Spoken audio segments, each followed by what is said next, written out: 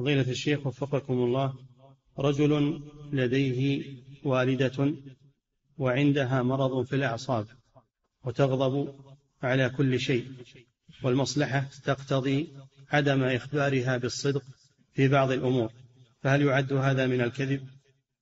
لا ليس من الكذب هذا من الرفق بها هذا من الرفق بها ارفق بها ولا تخبرها بشيء يثير أعصابها ارفق لا تقول لها إلا شيء سار وشيء طيب.